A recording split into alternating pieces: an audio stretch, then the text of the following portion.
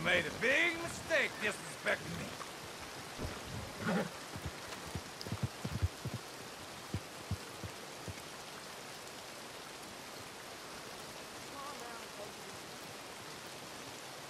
Oh! Oh, Brown's coming up real fast.